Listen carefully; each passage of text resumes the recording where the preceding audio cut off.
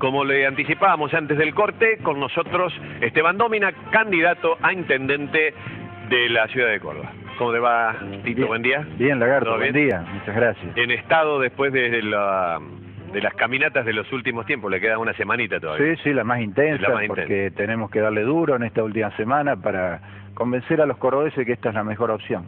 Hay como una especie de campeonato para ver quién es kirchnerista o no, ¿no? ¿No has notado una especie de...? Sí, sí, sí, es verdad, porque se hace política con eso. Se ha distorsionado mucho esta campaña en función de elementos ajenos a lo que es la intendencia, la gestión que tiene que, que llevar a cabo un intendente, y se ha metido este asunto, quién es más kirchnerista. Yo felizmente no lo tengo que acreditar porque soy el que más chapa tengo, si, si es por eso, ¿no? Porque he sido funcionario de Néstor Kirchner cuatro años, los otros no tienen ningún antecedente de esta naturaleza, pertenezco a ese espacio, pero no ando buscando ninguna coronación, ninguna bendición, porque creo que no, no viene al caso. Sí, sí. Creo que hoy la, la opción del vecino pasa por otro lado. El- eh, he notado yo, en- no, en, no en esta campaña, en todas las campañas e inclusive en la vida propia de los municipios y de los gobiernos, que han aparecido y han estado siempre, pero ahora en esta época me da la sensación con más presencia, unos jugadores denominados los emprendedores inmobiliarios. Mm. ¿Por qué tienen tanto poder los emprendedores inmobiliarios? ¿Por qué deciden? ¿Por qué opinan? ¿Por qué no digo que no opinen, pero ¿por qué tienen semejante espacio de poder? Porque en realidad en los últimos tiempos la ciudad ha crecido a impulso de sus intereses, de los desarrollistas privados. Eh, ellos han hecho lo que han querido ante la falta de presencia, de autoridad del intendente, del municipio. Córdoba eh, ha ido de la mano de estos desarrollistas que han ido depredando distintas zonas, fragmentando la ciudad. Y si, si no le- se le pone coto y se, se revierte esta tendencia, bueno, vamos, vamos en la misma dirección. Yo escuchaba con asombro una candidata que dice que le va, Olga, que le va a hacer una secretaría de mega desarrollo. O sea que no solo le va a poner coto del- en el buen sentido, ¿no es cierto?, con regulaciones, con, firme- con, con autoridad municipal, sino que le va a crear una secretaría para que les vaya más rápido y mejor y le agilice los trámites. A mí me asusta, me asusta cómo la ciudad va perdiendo zonas residenciales, ya perdimos Nueva Córdoba, Lagarto, ahora van por General Paz, y bueno, eh, esto, insisto, es la, la falta de planificación pensando en el espacio colectivo, en el espacio público. Es decir, tu posición no es que no estén, sino que se los regule de alguna manera. Y se hacen, eh, hay que parar esto de los trajes a medida. A- Ayer o anteayer tomó Estado Público que a uno de los principales emprendedores, Giacomino, de un, de un golpe de firma, le autorizó en lugar de 21 metros, que es lo que está permitido ahí en la 24 de septiembre, construir 36 un desarrollista muy conocido. Entonces estos trajes a medida, toda esta cosa de la concertación público-privada, la manzana atípica, la flexibilización del código de construcción, eh, no está al servicio del, del- del disfrute del espacio colectivo, sino que está al servicio de, de los intereses de unos pocos. ¿Y cuál es tu propuesta en ese sentido? ¿Cómo, cómo pensás modificar estas reglas que, bueno, reglas tácitas algunas, que ya existen? Recuperar la capacidad de planificación. Tenemos que tener un libreto ciudadano para, para Córdoba, o sea, que responda al interés general, donde los desarrollistas tendrán su lugar, porque nadie está diciendo que no deben existir, todo lo contrario. Yo creo que nos tienen que ayudar a repensar algunas zonas de Córdoba, pero no, que no sean la crema del negocio, sino aquellas zonas postergadas, aquellos barrios que otrora fueron muy lindos, muy residenciales, que hoy se han Entonces lo nuestro es un libreto ciudadano pensado con consenso, planificado a 20 años, para que la ciudad vuelva a, insisto, a privilegiar el espacio público. Pero se puede volver, se puede hacer un, un paso atrás en el avance desmedido que han tenido estas edificaciones por caso Nueva Córdoba, se puede, ya, No. ya, ya eso no se puede volver No, atrás. Córdoba la perdimos para siempre, lamentablemente, Lagarto, la perdimos para siempre. Lo que se puede es frenar esta tendencia, porque ya la ciudad tiene un estado de fragmentación, no solo físico, sino social, demasiado exagerado. Entonces lo que hay que hacer es frenarla y tratar de revertirla hasta donde sea posible. Hay hechos consumados, lo que ya se ha hecho va a ser muy difícil regresarlo.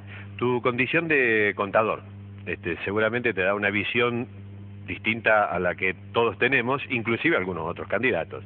Eh, ¿Cómo está la plata de la municipalidad? Porque ese para mí es un gran misterio, porque el oficialismo dice que está todo controlado.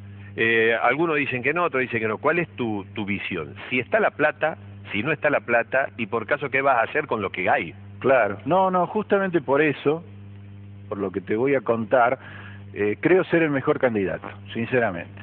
¿Por qué, Lagarto? Porque la municipalidad no le cierran los números.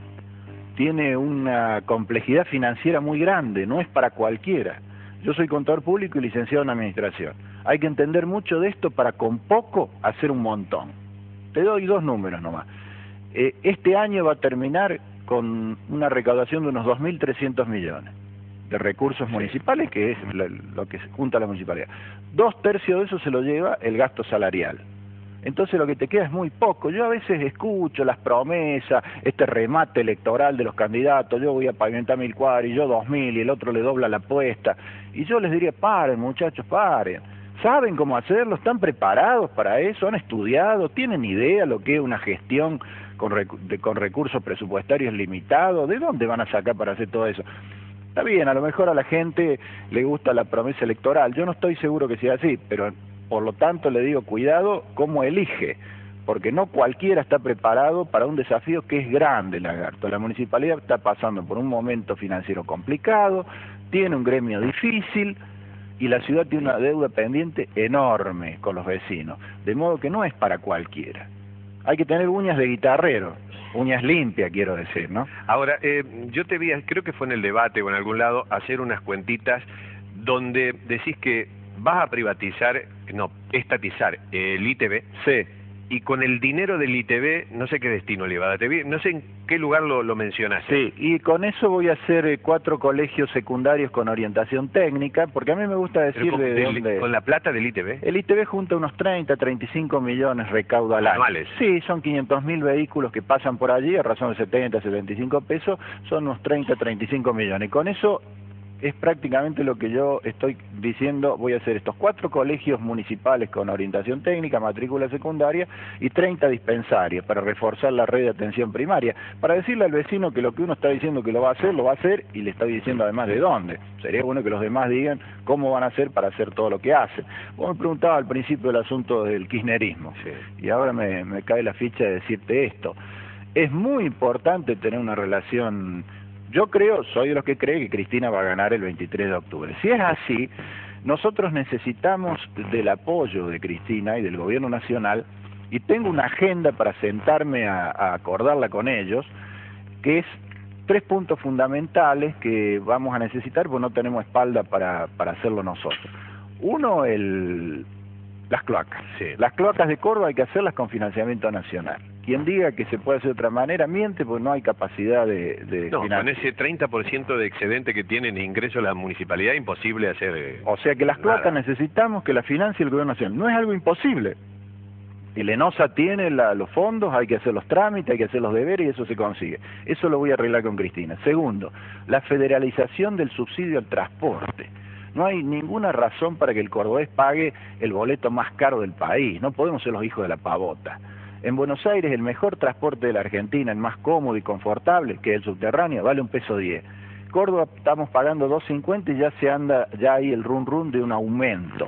Este tema hay que acordarlo a nivel nacional. pero vos proponés, vos proponés congelar congelarlo por un año hasta que recuperemos el sistema de transporte público, pero aún congelado seguimos estando arriba. Por eso este es un tema fundamental de la agenda con Cristina. Y el tercer tema que la quiero convencer es que nos haga un hospital de niños en la zona de Argüello. Estamos inaugurando ahora el hospital que inició Luis Juez en Villa Libertador, un hospital hermoso que va a tener... El del sur, se llama. El del sur, el del sur pero necesitamos otro en la zona norte. La demanda de salud es enorme. Entonces, así como se repartieron hospitales en el conurbano bonaerense, y enhorabuena porque llegan a los sectores más necesitados, Córdoba necesita un hospital de esto. Por eso digo, yo no hago kirchnerismo de campaña. Estoy diciendo que tengo una relación madura con el gobierno nacional que si Cristina gana me va a permitir sentarnos a acordar esta agenda.